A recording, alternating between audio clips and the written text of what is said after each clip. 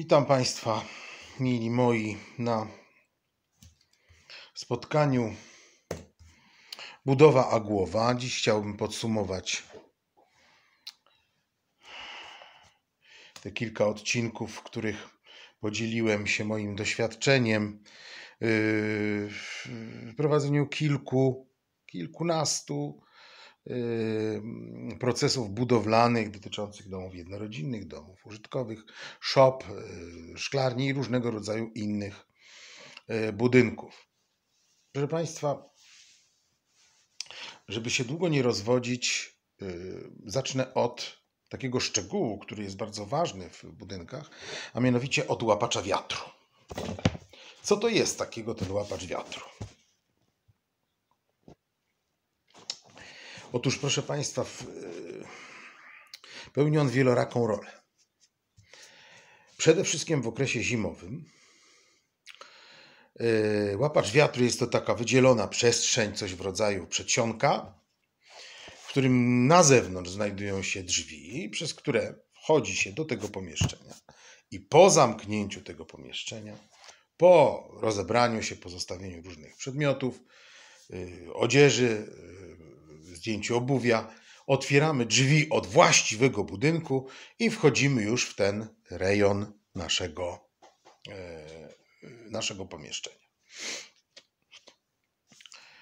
Co jest ważne, jeżeli chodzi o, o to pomieszczenie, o ten przedsionek, o ten łapacz wiatru? No tak sama nazwa wskazuje.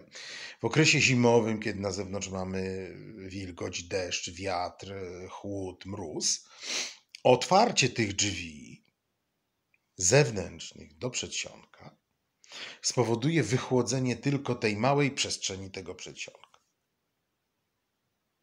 Ludzie stoją, otupują obuwie ze śniegu, strzepują z siebie śnieg, parasolki, uderzają czapkami o y, ubranie, żeby strząsnąć śnieg.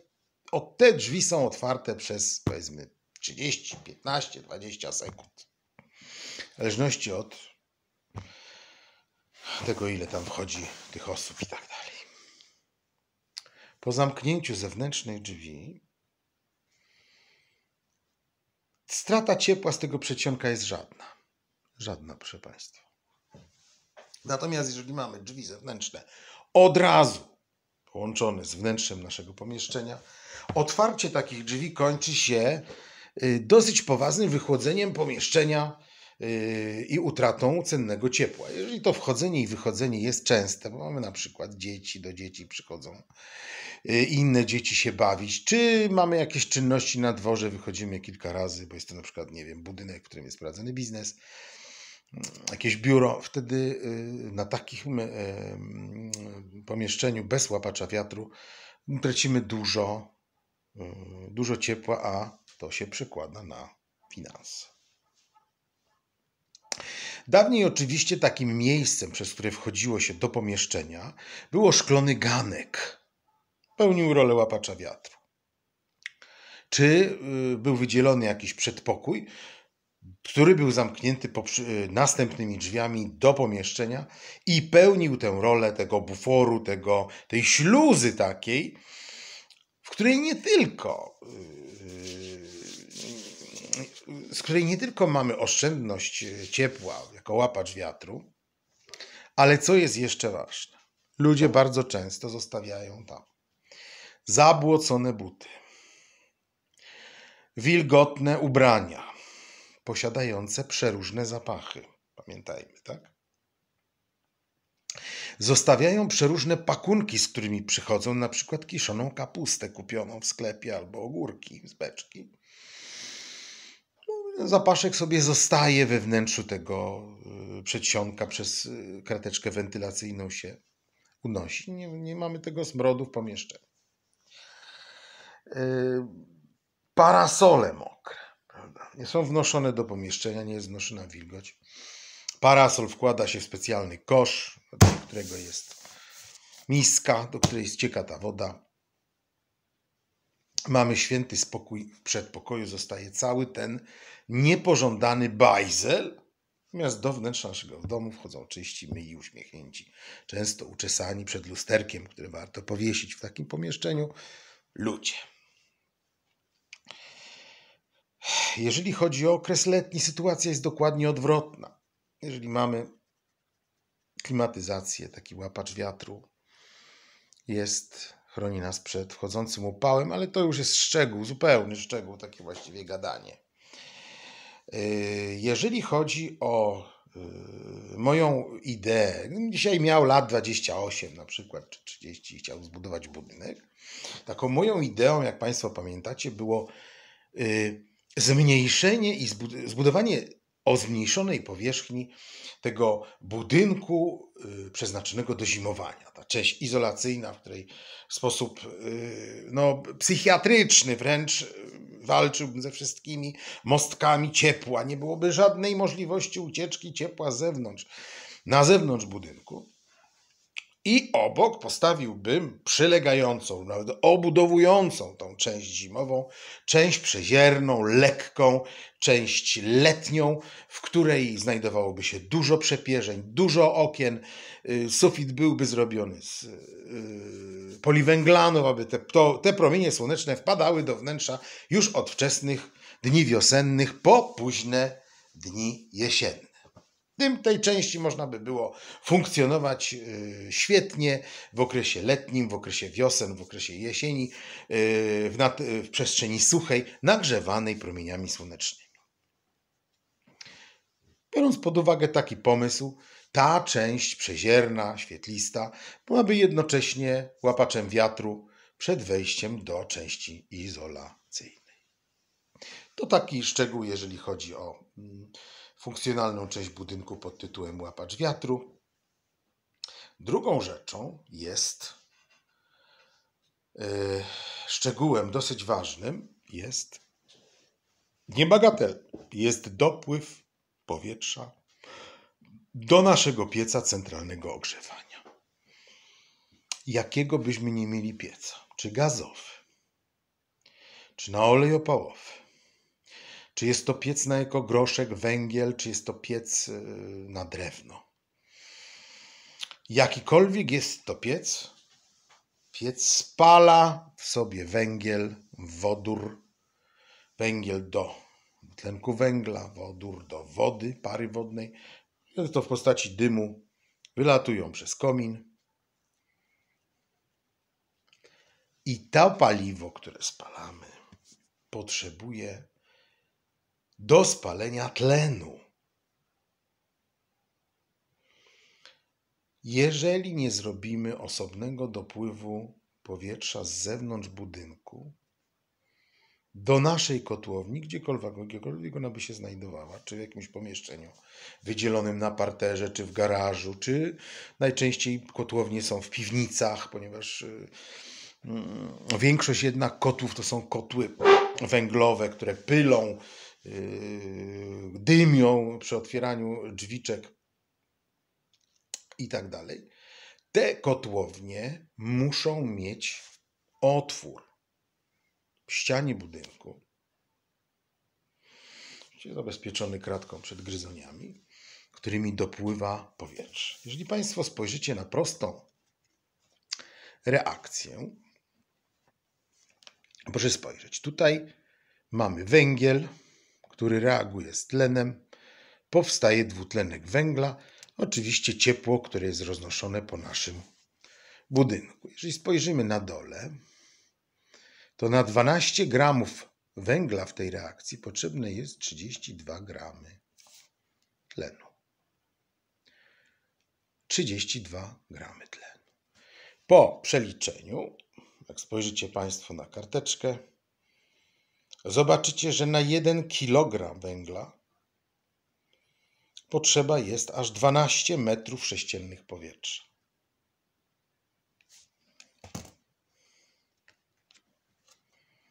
Dwanaście metrów sześciennych powietrza na kilogram. Można powiedzieć z grubsza, żeby było łatwo liczyć 1 do 10. Więc jeżeli y, spalamy 10 kg węgla, to potrzebujemy 100 metrów sześciennych powietrza. Jeżeli nasz piec na ekogroszek wali 25 kg ekogroszku na dobę, to na tą dobę potrzebujemy 250 a przeliczając uczciwie 12,5 metra sześciennego, prawie 300 metrów sześciennych powietrza.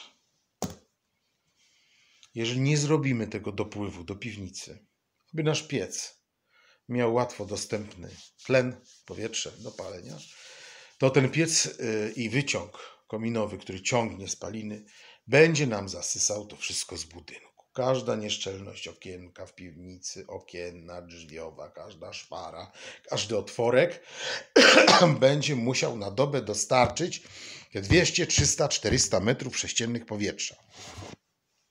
Państwo sobie wyobrażacie, że jeżeli kubatura budynku jest 10 na 10 na 10, 10 razy 10 to jest 100, yy, proszę Państwa, yy, razy 10 to jest 1000. Yy, Powiedzmy, że no budynki nie są tak wysokie. Powiedzmy, że kubatura tego budynku wynosi jakieś 300-400 metrów sześciennych.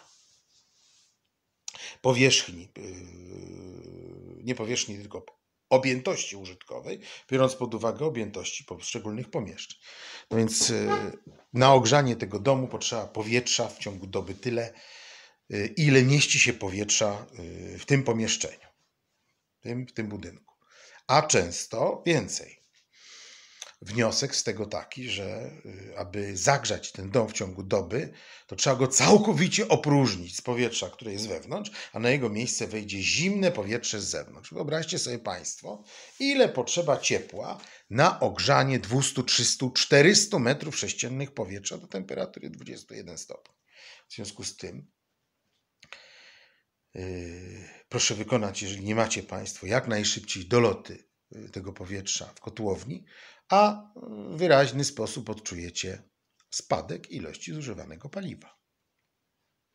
Ponieważ nie będzie trzeba ogrzewać powietrza, które wchodzi szparami i później wędruje do tego pieca. No, oczywiście do tego pieca dostanie się powietrze bezpośrednio w kotłowni za ściany przez krateczkę, otwór wykonany w ścianie. Proszę Państwa, yy, można jeszcze y, dużo rozmawiać o, o sprawach powietrza w budynku. Myślę, że ta już jest wyczerpana. Następną rzeczą, o której bym chciał powiedzieć, to jest temat, który nazwałbym magią styropianu.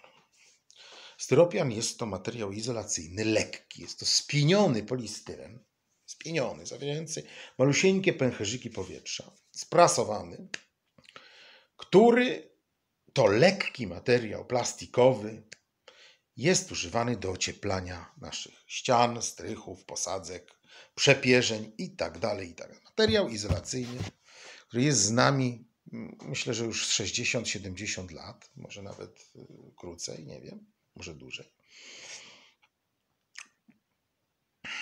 Styropian yy, jest niewrażliwy na wilgoć. Y, pomimo iż y, krążą legendy, iż y, rozkłada się i zanika, jest to nieprawda, bo jest to materiał plastikowy.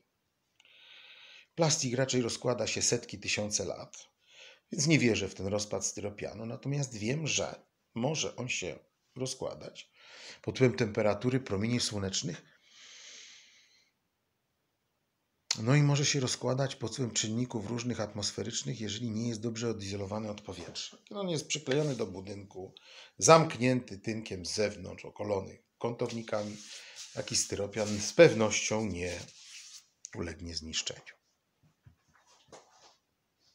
Chciałbym dodać, że na naszym rynku znajduje się jeszcze oprócz styropianu wiele innych, dużo mniej znanych środków e, ocieplających, chociażby e, twarda wełna mineralna, która z powodzeniem może zastąpić wspomniany styropian, ma wielki plus, że nie lubią jej gryzonie.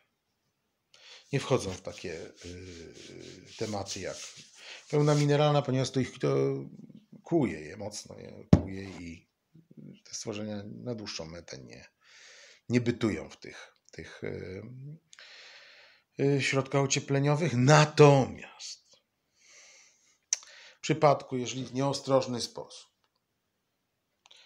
nie oddzielimy do w dolnej części styropianu, kładąc na niego tynk, kątownikiem od dołu, aby nie było pustej części styropianu. Gryzonie uwielbiają gryźć styropian. Pod tynkiem zrobią nam kanały przepiękne, które to będą je prowadziły ze strychu do ziemi i z ziemi do strychu. I to są tylko im znane drogi. Po kilkunastu latach będziemy mieli zjedzone połowę styropianu spod takiego tynku.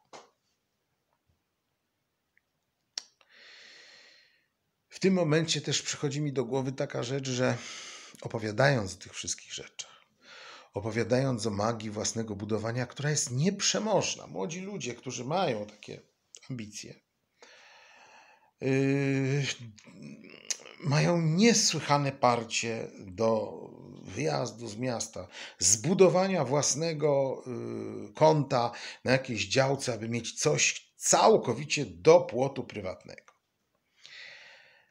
Yy, w drodze do uzyskania tego marzenia, bądź co bądź jednak materialnego, zapadają różne ważkie decyzje. Często chęć posiadania pewnych elementów budowlanych czy pewnych elementów w domu pociągają za sobą yy, zaciąganie olbrzymich kredytów, zacharowywanie się w różnych pracach, aby osiągnąć pożądany przedmiot. Nierzadko kończy się to przemęczeniem. Nierzadko, proszę Państwa, rozmawiając z przyjaciółmi, znajomymi, znajomymi znajomych, którzy kończyli budowę budomu, domu, Y, kiedy ich widziałem, spotykałem czy rozmawiałem, no to ludzie, y, którzy y, są umęczeni tym procesem. Budowa miała trwać rok, trwała pięć. Wykończenie budynku i wszystko miało kosztować tyle, okazało się, że kosztuje trzy razy więcej. Wszyscy, którzy budują budynek, popełniają te same błędy, czyli krótko mówiąc, doprowadzają do przeinwestowania. Pamiętajcie Państwo, Wy, Wy i tylko Wy jesteście najważniejsi, bo żyjecie.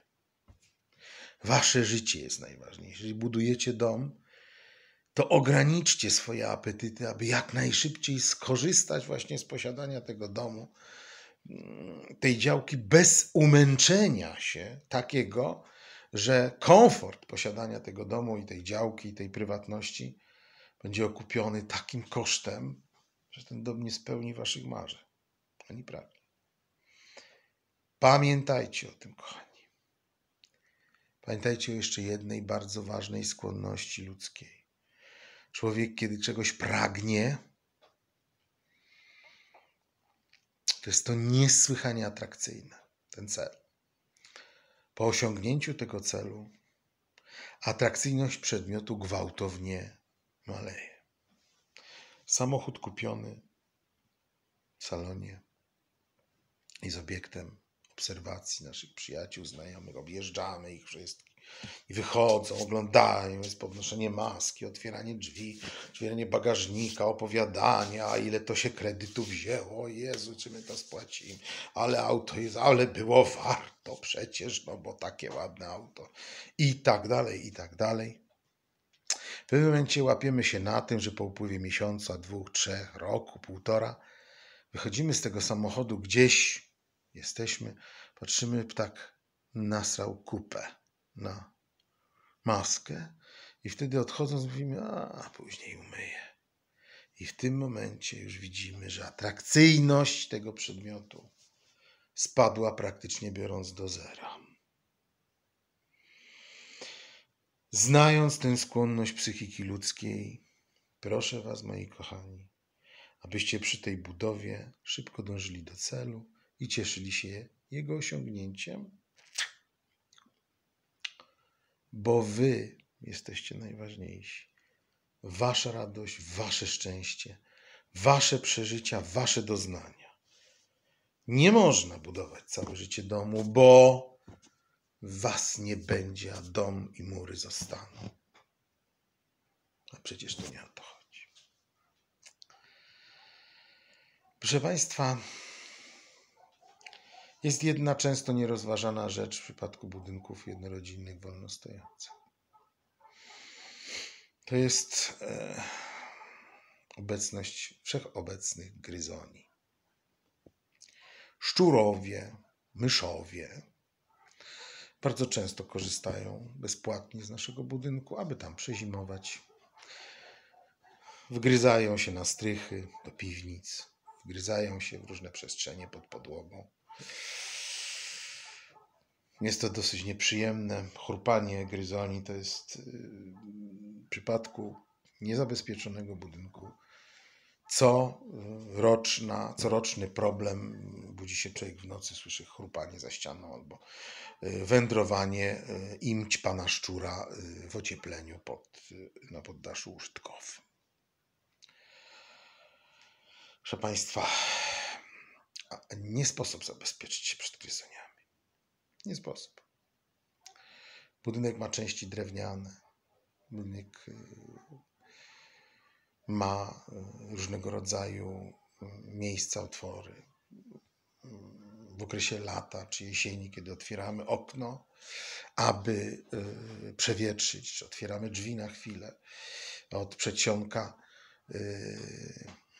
Jeżeli to trwa pół godziny, nas tam nie ma, myszy wchodzą do budynku. Tup, tup, tup, tup, tup, po schodkach. Już są w środku budynku. Idą po ścianie przy listwie, jakaś dziura, jakiś but. Tam sobie siedzą, czekają aż się robi cicho, później wychodzą i żerują, jak im Pan Bóg przykazał. Jest to rzecz nie do uniknięcia. Mamy na rynku mnóstwo rzeczy, które mm, w ewidentny sposób y, powoduje likwidację owych y, stworzeń. Są to różnego rodzaju łapki, trutki itd. Stosowanie łapek y, dosyć brutalne, ale skuteczne. Stosowanie trutek jest y, dosyć śmieszne, dlatego że później przez kilka dni po wyłożeniu trutki, lub nawet tygodni, domu roznosi się dosyć ciekawy, słodkawy smrodek rozkładającego się mięsa ponieważ ciała tychże y, gryzoni, które zdychają za kanapami, gdzieś tam w przepierzeniach ścian i tak dalej, kończy się ich rozkładem i pojawieniem y, związków śmierdzących. Ja osobiście wymyśliłem swoją własną metodę,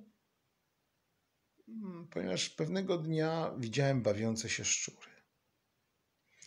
Y, wspomnę Państwu, że szczury są wszędzie wszędzie. Jeżeli wstaniecie Państwo wczesnym rankiem, takim letnim, godzinie w pół do trzeciej, kiedy trzeciej, kiedy się robi szaro i powolutku robi się jasno i będziecie pani, Państwo patrzyli na podwórko z bloku, za okno na wsi, czy przez jakiekolwiek okno, gdziekolwiek będziecie i się tak spojrzycie, to zobaczycie przede wszystkim dużo ptaków latających, żerujących, siadających, jedzących z podwórka jakieś odpadki, resztki, jakieś tam pomiędzy trawkami owady, dżdżownice i zobaczycie Państwo biegające szczury. Oczywiście nie jest ich jakaś hurma, widać szczurek gdzieś przebiega jeden, za 15 minut drugi, no bo kończy się noc, kończy się czas ich żerowania, one wracają do siebie. Jest to wszędzie, wszędzie. Mówi się, że y, na Ziemi żyje 10 miliardów ludzi i 60 miliardów szczurów. 6 razy więcej niż ludzi. Ech. Wymyśliłem taką rzecz. Stawiam taką łapkę, w której szczur nie ginie, tylko się zamyka taka klapka albo mysz. I jadę gdzieś i wypuszczam. Już, one sobie tam będą żyły, gdzieś tam w pole je wypuszczę, nad rzeką. A jeszcze lepszym sposobem jest raz na tydzień, raz na dwa podjechać do najbliższej piekarni, kupić za 5-6 zł worek takiego suchego chleba, pojechać samochodem jakieś półtora kilometra, kilometr swojego budynku, bachnąć ten worek gdzieś y, za załomem jakimś, gdzieś oprzeć jakieś drzewo, jakiś wykrot. Proszę Państwa, tam będą się gromadziły te, te stworzenia, dlatego że będą tam miały jedzenie. Pójdą od nas. Oczywiście musi być również z naszej strony uwaga, aby nie wykładać żadnych, żadnej żywności, aby nie wyrzucać żadnego chleba, kartofli, odpadków y, gdzieś na y, kompost, bo kompost y, jest idealnym miejscem, jeżeli zawiera to odpadki żywnościowe, jeżeli to są jakieś tam drewniane przedmioty, liście i tak dalej, nie ma to miejsca. Nie ma to miejsca. Natomiast jakaś otwarta żywność wyrzucana na, na śmietnik, no to tam zaraz pojawią się jest restauracja, pojawią się klienci. Normalne. Dodam, że wysypywanie trutki na szczury yy, gdzieś w otwartej przestrzeni, przy budynku. Do tego są specjalne urządzenia. Specjalne urządzenia, do których wejdzie gryzoń, a żadne inne stworzenie. Proszę Państwa, niestety yy, Ludzie nie posiadają takiej wyobraźni. Wysypują trutkę na szczury na otwartej przestrzeni, myśląc, że tam zjedzą i tam zginą, do domu nie dojdą. Głównie y, przedstawicielami y, tego sposobu myślenia są y, faceci w sukienkach, czyli kobiety. Tak zażartowałem.